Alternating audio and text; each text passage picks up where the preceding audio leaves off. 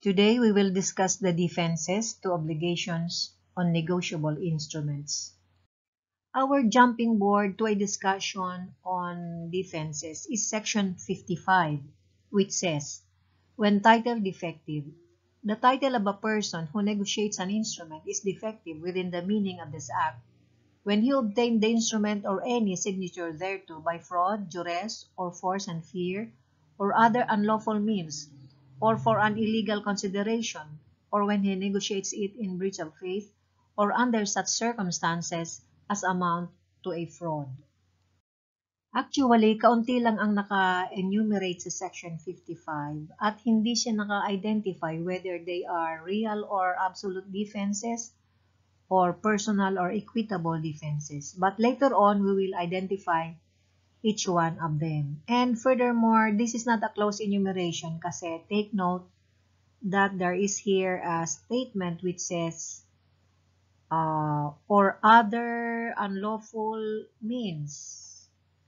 At saka dito, under such uh, circumstances as amount to a fraud. So may mga iba pang defenses na hindi nakalagay dito na pag-uusapan natin later on. So there are two kinds of defense, the real or absolute and the personal or equitable. A real or absolute defense is one that attaches to the instrument and is good against all holders, including a holder in due course. Kahit na holder in due course, hindi makakasingil. But a personal or equitable defense is one that is good only against a holder not in due course. Ibig sabihin, yung holder in due course makakasingil pag personal defense lang. The first real defense is forgery under section 23, which says, forged signature effect of. When a signature is forged or made without the authority of the person whose signature it purports to be, it is wholly inoperative and no right to retain the instrument or to give a discharge therefore or to enforce payment thereof against any party thereto can be acquired through or under such signature unless the party against whom it is sought to enforce such right is precluded from setting up the forgery or want of authority. Forgery is the signing of another person's name with the intention to defraud and frequently consists of the making of a signature designed to appear as if made by the person whose name is written. The writing of one's name by another who is not authorized to do so imposes no obligation upon the one whose name is signed. Even a holder in due course cannot recover from the principal. If the name of the maker, drawer, or acceptor is forged, the instrument is not binding on them. Even a holder in due course is not permitted to enforce such a pretended obligation. So that's why this is called a real defense because even a holder in due course cannot collect payment from him whose signature was forged or was written by a person without authority from him. However, there are persons who are precluded from setting up forgery or want of authority, and they are the following. Number one, those who warrant the genuineness of the instrument, and these are the endorsers and the persons negotiating by delivery under sections 65 and 66. Number two, those who warrant the genuineness of the signature of the drawer, and this is the acceptor under section 62. Number three, those who ratified expressly or impliedly the forgery. And number four, those whose negligence contributed to the perpetration of the forgery. Now, these uh, people are precluded from setting up the defense of forgery and therefore they are liable on the instrument. The second defense is material alteration under section 124, which says alteration of instrument effect of. Where a negotiable instrument is materially altered without the assent of all parties liable thereon, it is avoided except as against a party who has himself made, authorized, or assented to the alteration and subsequent endorsers. But when an instrument has been materially altered and is in the hands of a holder in due course not a party to the alteration, he may enforce payment thereof according to its original tenor. So under section 125, These are the matters that constitute a material alteration if they are altered. So, ano yung pagkakaiba ng material alteration sa 1 to 5 at sa forgery sa 23? Yung forgery pertains only to the signature of the maker, of the drawer, the acceptor, and the endorsers. Pagka uh, pineke yung pirma nila or inilagay yung pirma nila, isinulat yung pirma nila na wala naman silang pahintulot, then forgery yun. Signature lang ang involved doon. Dito sa 124 at 125, maraming involved. Tulad dito sa date, the sum payable, the time or place of payment, the number of the relations of the parties, the medium or currency in which payment is to be made, or which adds a place of payment where there is no place of payment indicated in the instrument. So, dito may nakalagay na, pero pinalitan ni holder or pinalitan ni numan. Pwedeng yung nagpalit yung party to the instrument or a stranger to the instrument.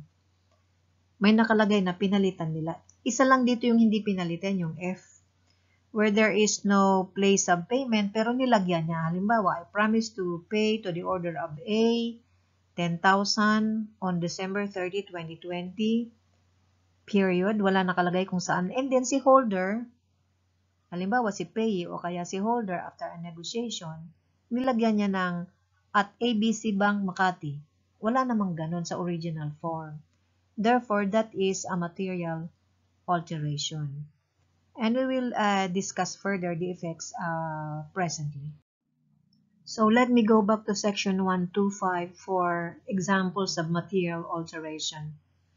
As to date, for example, the date of the instrument is December 30, 2020, but the holder changes it to maybe November or September October to accelerate maturity. He makes it October 30, 2020. That is material alteration as to the date.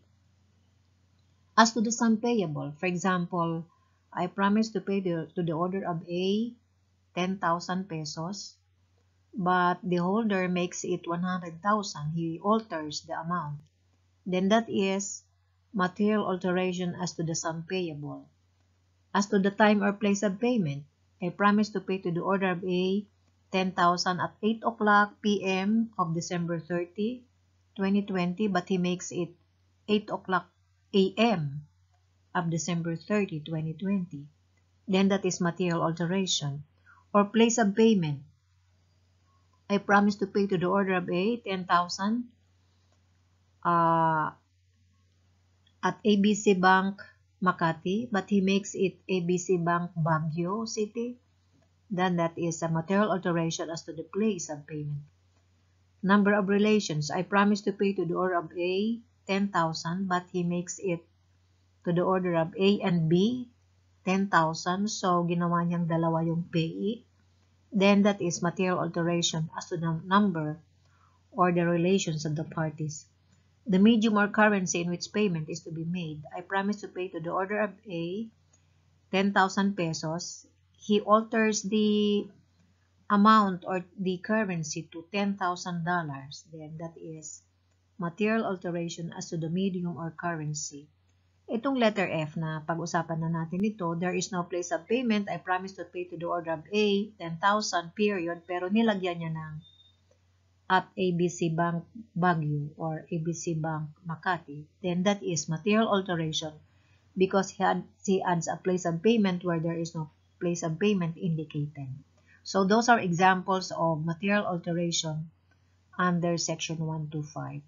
So the rule in material alteration is this. Material alteration discharges all parties except subsequent endorsers and those who have made or assented to the alteration.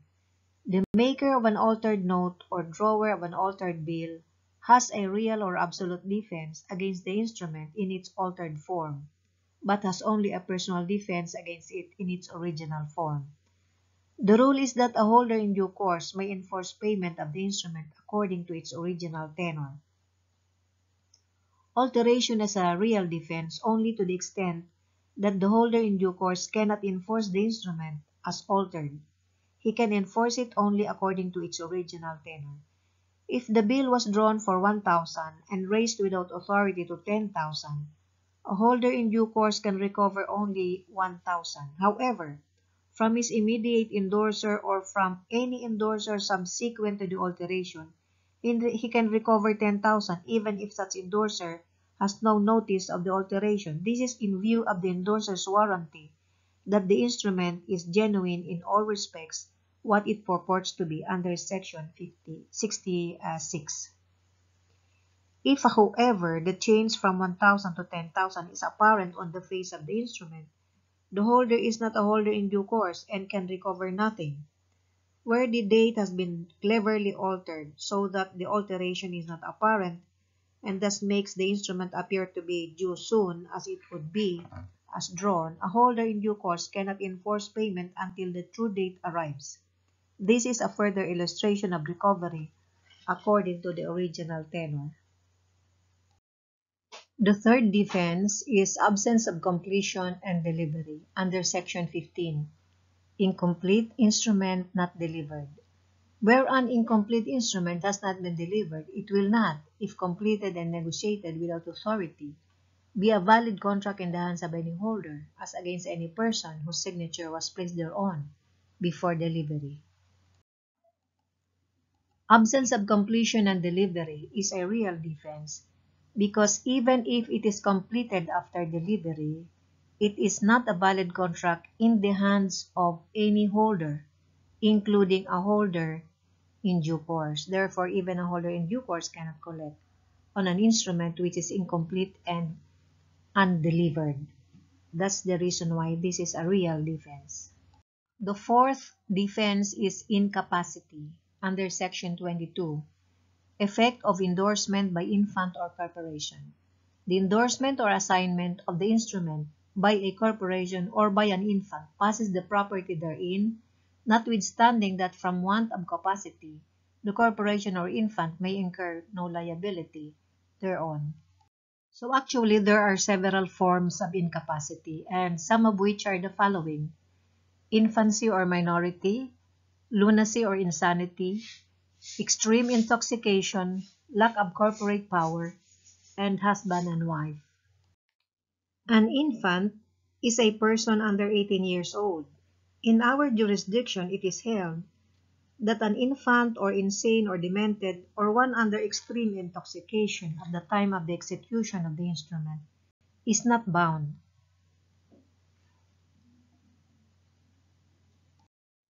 Under the law, a husband and wife cannot make a valid contract with one another, and therefore neither of them can make a valid obligation from one to another on a negotiable instrument. A note by a husband to wife or wife to husband, therefore, is worthless even in the hands of a holder in due course. Similarly, an endorsement from one to the other will not be valid transfer and will create no obligation. Another kind of lack of capacity which also prevents an instrument from being genuine is where a corporation makes a note without authority. It may be that the corporation itself had no authority to make a note. That is what is uh, called ultra vires in legal phraseology. Or it may be that though the corporation had power to uh, make a note, the particular officer who attempted to bind the corporation did not have the power to do so. In either case, the corporation is not bound. There is an absolute defense, good even against a holder in due course, unless the corporation is precluded from setting up the defense by having induced a purchaser to believe that there was sufficient authority. Even if the corporation induced a purchaser to believe there was sufficient authority, it cannot exceed the limits imposed upon it by its charter. So the fifth defense is fraud. There are two types of fraud, the intrinsic and the extrinsic. And there are two types of intrinsic. That's what we have here. Two types of intrinsic. Number one is fraud in the factum or fraud in esse contractus, which is a real defense. And the second type is fraud in the inducement, which is a personal defense. An example of fraud in the factum or fraud in esse contractus is this. For example, if John tells his mother that he is taking a college course on handwriting analysis, and for his homework, he needs her to read and sign a pretend deed. If mom signs the deed believing what he told her, and John tries to enforce the deed, mom can plead fraud in the factum. Fraud in the inducement is a personal defense. For example, if John tells his mother to sign a deed giving him her property, mom refuses at first. Then John explains that the deed will be kept in a safe deposit box until she dies. If mom signs the deed because of this assurance from John, and John tries to enforce the deed prior to mom's death, mom can plead fraud in the inducement. So dito sa fraud in the factum or fraud in esse contractus, hindi alam ni maker or ni drawer or ni acceptor na ang pinipirmahan niya ay negotiable instrument. Akala niya kung ano lang na dokumento pero hindi negotiable instrument. Napapirma siya, hindi niya alam na uh, negotiable instrument pala yon at siya ay may obligation dun sa instrument na yon. Yun ang real defense. Hindi niya alam na yung pinirmahan niya ay cheque or bill of exchange or promissory note. Dito sa fraud in the inducement, alam niya na yun ay promissory note, yun alam niya na yun ay cheque or bill of exchange, kaya lang may mga sinabi sa kanya na nakumbinsi siya na pumirma kahit na labag sa kalooban niya. Halimbawa, sabi nung nagpapapirma sa kanya, o sabi ng mother mo, pirmahan mo na daw yan. Bilin ng mother mo na bago ka umalis, pirmahan mo yan. Pero hindi naman totoo. So, pinirmahan niya dahil uh, paniwala niya yun ang bilin ng nanay niya or ng magulang niya, pero hindi naman pala. So, alam niyang negotiable instrument yun. Pero na-induce lang siya dahil sa mga information na mali naman na sinabi sa kanya. So, itong fraud in the factum or fraud in esse contractus, dahil hindi niya nga alam na negotiable instrument yun, ay real defense. Pero sa fraud in the inducement, alam niya na negotiable instrument, kaya lang may mga sinabi sa kanya hindi naman totoo na nakapag-induce uh, sa kanya para pirmahan. That is a personal defense. The sixth defense is duress. Duress is a defense similar to fraud. This was first confined to cases where a person was compelled to sign an instrument under imminent fear of bodily harm or imprisonment, but the defense has now been extended beyond that. There are many kinds of duress that do not threaten the person under duress himself with immediate harm. A husband threatens to shoot himself if the wife does not sign the instrument, and brandishes a pistol so that his threat appears plausible, and thereby induces the wife to sign the paper. she would have a personal defense against an obligation entered into in that way. So a threat to injure a child or to injure another person may have even more effect than a threat to injure the person himself whose signature is demanded. The test today is, was such pressure put upon the signer as to prevent him from being really a free agent in the matter? It is not juris, however, to threaten to enforce one's legal rights unless an instrument is signed. For instance, a threat by a creditor to sue, or a threat to attach the debtor's property unless the debtor signed a note, would not be such duress as to create even a personal defense. Duress as against a party who is not a holder in due course, duress is a defense to an action on a negotiable instrument. The interesting case of Talmage versus Robinson exemplifies the radical change occurring over the years in the concept of duress. Originally concerned with threats of bodily harm and criminal prosecution, duress has expanded so as to include, in the Talmaid's case, a threat of bringing disgrace upon the family by falsely accusing a recently deceased father of incest with one of his daughters. Another daughter signed the note to prevent the disgrace to the family. The seventh defense is lack of title. Lack of title in the holder of an order instrument is an absolute or real defense. Lack of title in the instrument payable to bearer does not prevent the holder from giving a good title, but lack of title in an instrument payable to order does. Even though it be considered that the maker of a note or drawer of a check be liable, he has a right to pay the real owner of the instrument.